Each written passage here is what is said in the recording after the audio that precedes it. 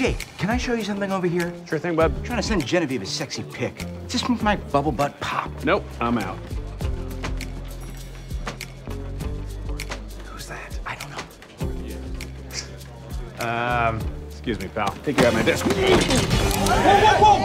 Drop the weapon! Don't be a dum-dum. Squad, meet Detective Adrian Pimento. He's been deep undercover for the last 12 years, but he's just resurfaced, and he's rejoining the 9-9. That is awesome.